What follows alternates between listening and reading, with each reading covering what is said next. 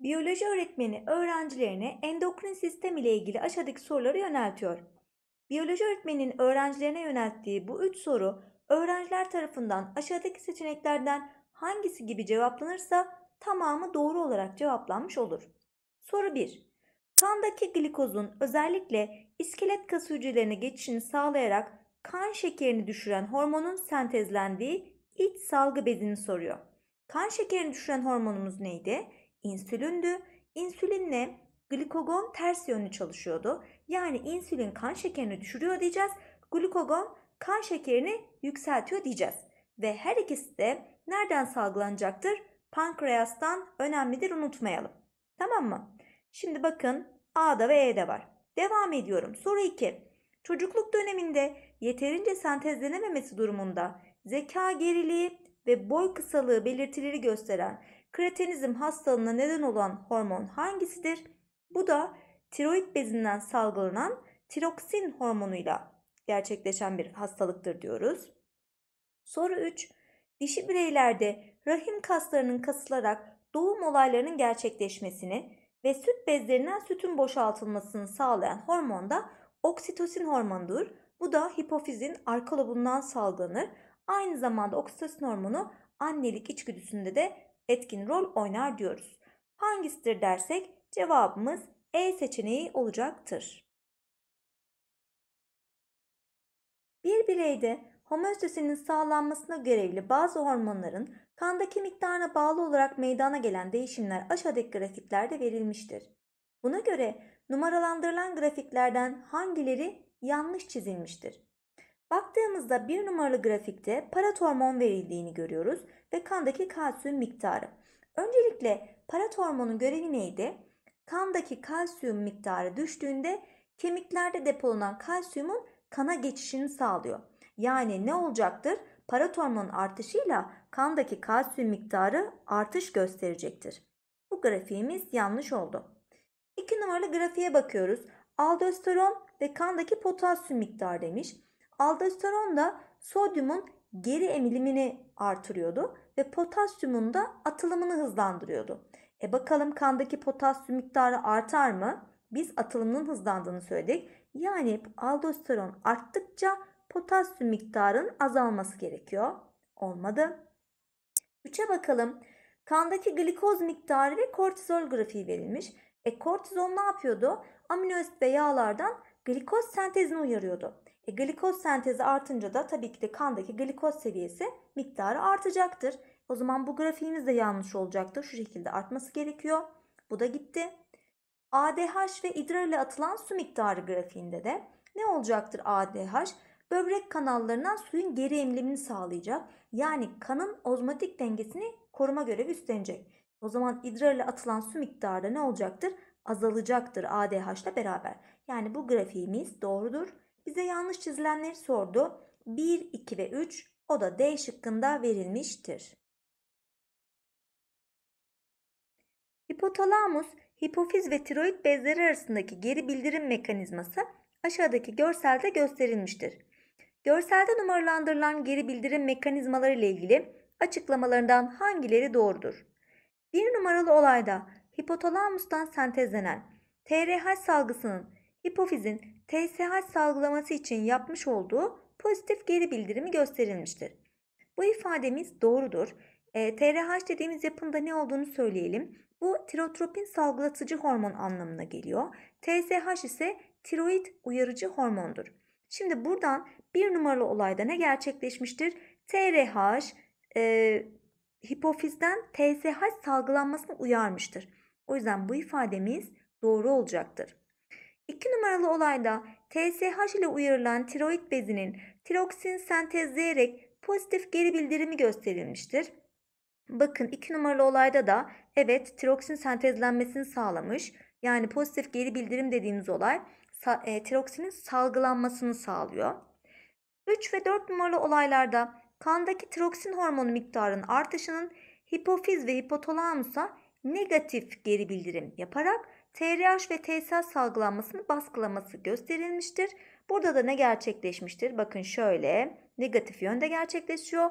Bu da artık kandaki tiroksin hormonunun miktarı arttı. O zaman ne yaptı? Geri bildirim yaptı ve e, salgılamayı durdurdu, baskıladı. Tamam mı? TRH ve TSH'ın baskılanması gösterilmiştir ifadesi de doğru olacaktır diyoruz. Cevabımız 1, 2 ve 3 olan E seçeneğidir. Deneysel olarak bir farede hipotalamus ile hipofiz bezinin arka lobu arasındaki bağlantı kesilerek hipotalamusun ürettiği nörohormon olarak adlandırılan hormonların hipofiz bezinde depolanıp salgılanması engellenmiştir. Bu farede durumlarından hangileri meydana gelebilir? Şimdi hipotonik idrar oluşturma demiş. Bunları aslında çözebilmem için öncelikle hipofizin arka lobundan salgılanan hormonları bilmem gerekiyor. Ne olacaktır? Birincisi ADH, ikincisi de oksitosin olacaktır. Yani verilenler arasında bunları aramam gerekiyor arkadaşlar. Hipotonik idrar oluşturma nedir aslında? Burada ADH devreye girecektir. Neden? Çünkü ADH'ın görevi böbreklerden suyun geri emilimini sağlamaktır. E buradaki bağlantı kesilirse o zaman ADH görevini yapamayacaktır ve hipotonik yani bol sulu idrar oluşumu gerçekleşecektir diyoruz. Bu meydana gelebilir. Kandaki kalsiyum miktarının artması, kandaki kalsiyum miktarının artmasında parat hormon görev alıyordu ki paratiroid bezlerinden e, salgılanıyordu. Bu olmadı. Proteinlerin glikoza dönüşümünün hızlanması demiş. Burada da e, nedir? Kortizol hormonu görev alacaktır. Bu da yine kabuk korteks hormonlarından salgılanan bir hormondur. Bu da olmadı. İdrar ile atılan potasyum miktarın artışı demiş. Yine bu da kabuk korteks hormonlarından şuraya yazalım. Aldosteron burada da görev alacaktır diyoruz. Yani burada ne olacaktır? Ee, sodyumun geri emilimi artacak. Potasyumun da kandan atılımı hızlanacaktır. O yüzden bu da olmadı. Cevabımız ne oldu? Yalnız bir olan A şıkkıdır. Aşağıdaki tabloda bazı hormonların az veya çok salgılanması durumunda ortaya çıkan hastalıklar verilmiştir. Buna göre aşağıdaki açıklamalardan hangisi yanlıştır? Hastalığımız Addison verilmiş ve Addison hastalığı nerede gözleniyordu? Hangi hormon eksikliğinde dersek aldosteron ya da kortizol hormonu eksikliğinde gözlenecektir. Guatr, guatr tiroksin hormonu eksikliğinde gözlenecektir ve akromegali ise STH yani büyüme hormonu eksikliğinde gözlenecektir. Şimdi detaylandıralım. X hormonu kortizol veya aldosteron olabilir. Evet doğru bir ifadedir. Peki görevleri nedir dersek? Kortizol amino asit ve yağlardan glikoz sentezini uyarıyordu. Yani kandaki glikoz seviyesini artırıyordu. Aldosteron ise böbrek kanallarından sodyumun geri emilimini artırırken potasyumun atılımını hızlandırıyordu kandan. Tamam mı? Ve bu iki hormonun da eksikliğinde Addison yani tunç hastalığı gözleniyordu. Bunun belirtileri de kas zayıflığı, yorgunluk, kilo kaybı gibi belirtiler gözlenebiliyordu. Tamam. O zaman bu olabilir dedik. Devam ediyorum. Y hormonu tiroid bezinden sentezlenir. Tiroksin evet tiroid bezinden sentezlenir. Doğrudur. Z hormonu protein sentezini ve yağ depolanmasını artırır demiş. Z neydi? STH dediğimiz büyüme hormonuydu. Ki büyüme hormonu sentez tepkimelerini gerçekleştirecektir. Özellikle tüm vücutta gerçekleşiyor büyüme ama özellikle kemiklerdeki büyümeyi ve metabolizmayı da uyaracaktır. X hormonunun yeterince sentezlenememesi kanın ozmotik basıncının düşmesine neden olabilir. X hormonumuz aldosteron ya da kortizol dedik. E ben şunu söylemiştim. Aldosteronda kandaki sodyum miktarı artıyordu. Yani kanın, kanın ozmotik basıncını artıran bir faktördü sodyumun da artması. E eğer ki ben sentezleyemezsem, daha az sentezlersem ne olacaktır? Kanın ozmotik basıncı düşecektir. Olabilir. Z hormonu böbrek üstü bezinin kabuk kısmından sentezlenir demiş. Z hormonumuz STH büyüme hormonuydu ki e, hipofizin ön lobundan salgılanacaktır diyoruz. O zaman yanlış olan seçeneğimiz E seçeneğidir.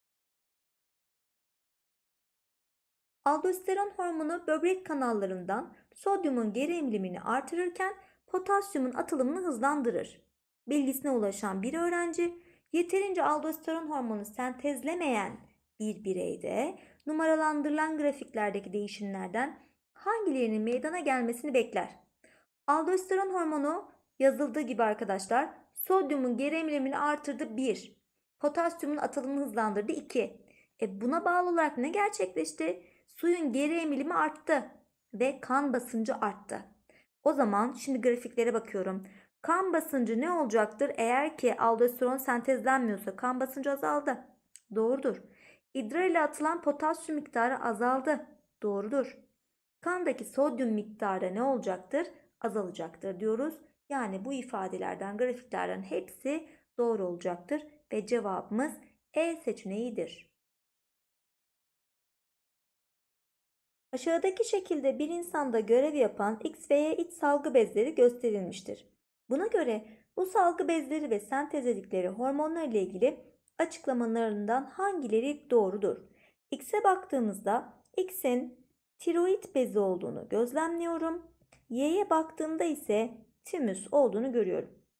X bezinden sentezlenen hormon kandaki kalsiyum miktarının düzenlenmesine görev yapabilir demiş.